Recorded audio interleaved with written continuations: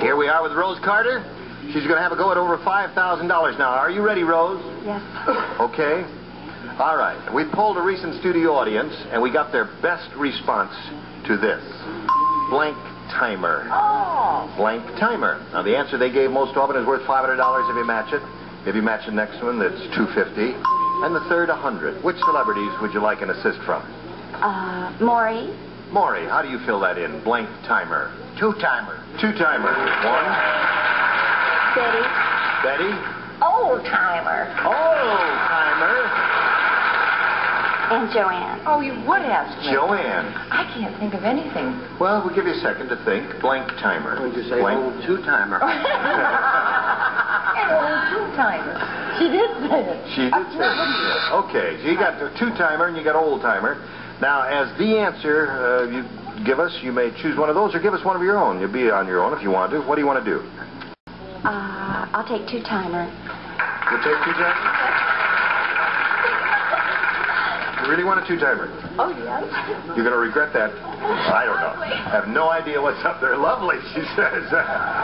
okay, two timers. The answer she's looking for. We'll find out if it's up there and if so, where. First, may we see the $100 response? Two timer it is, right off the bat. Congratulations. There's $100 for you. Well, guess old timer's got to be up there somewhere. May you see the $250 response? Ed timer. Old timer's got to be up there somewhere. That's the one. Let's see the $500 response. Old timer. That's the answer Betty gave you. Okay. Now, you've got the $100. You're going to play for 10 times that amount or a 1000 to collect. You've got to match one celebrity. Which one will it be? Richard. Present. You are chosen.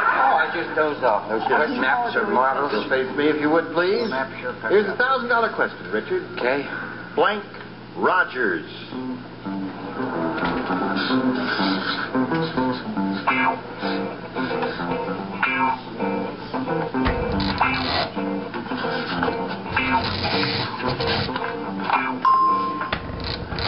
All right. Now, what answer, Rose, uh, comes to your mind in order to match Richard Dawson? Blank Rogers. Roy Rogers. Roy Rogers. Okay, Roy Rogers is her answer for $1,000. May we see yours, sir? I did write Buck Rogers, You did write Buck Rogers. but I threw it away. You threw it away. And then what happened? Then you wrote Roy Rogers. I wish I did. I wrote Ginger Rogers. Ginger Rogers. Well, if you'd boo Ginger Rogers after all those movies she made.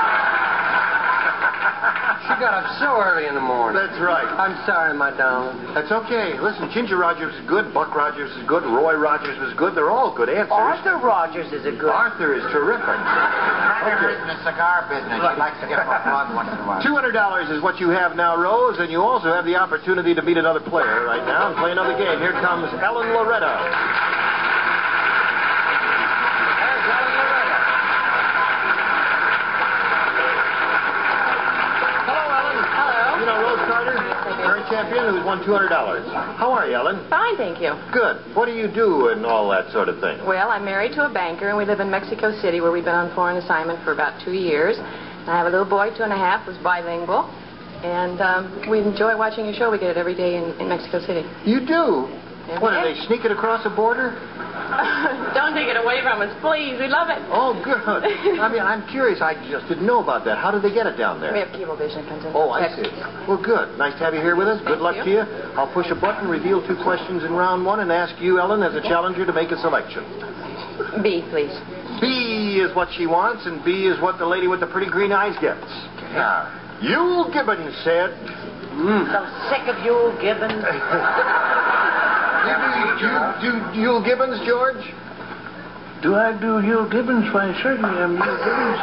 He did Euell Gibbons there. I'm getting ready. I'm getting ready to eat the microphone and the entire table. Take the bite out of my arm. Yes. Euell Gibbons said, next year, I'm planning the biggest feat of my life. I'm going to eat the entire blank. Euell Gibbons said, next year, I'm planning the biggest feat of my life. I'm going to eat the entire blank. Now, if you get this program down in Mexico City, you must get Euell Gibbons down there, Yes, too. we do, once You've in a seen- while. You've seen Euell Gibbons. Okay. Yes, All right. that can be fun. We're waiting for. Can I do it? No. Yes, No. You're all finished, and now she's all finished, and now we'll call on Laura. Uh, yeah, Helen. Euell Gibbons said next year I'm planning the biggest feat of my life. I'm going to eat the entire, The entire thing. the entire thing. Uh-uh. They're on you. I don't know what they have in mind. We'll find out right now what they have in mind. Which, which answer will be applauded the most is what they have in mind. Morey? Well, if I was him Yeah. and got tired of toothpicks and all that stuff, I'd eat the whole forest. That's the answer. You got gonna show it to us? Yep. he's got Forrest on his card. All right, Brett. There are many edible things in the forest. One of them is the whole forest. One of them. George? My friend, fabulous feast would be to eat the entire forest. You said it, Sid Old Bean. How about you, Jo Ann? Well, I think it was a very big, big forest, so I spelled it with two R's. Okay. It's the whole forest. And what would you eat, sir? I um, would eat Forrest Tucker.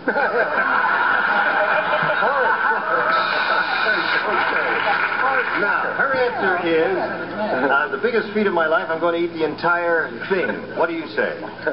What would you call the Empire State Building? Isn't that a thing? Empire State. It's a thing, all right. but It's not the entire thing. Then. So you didn't score with that at all, uh, Ellen. I'm sorry to say. And We've got a first round question for Rose coming up. But first, friends, we've got this message of interest for you.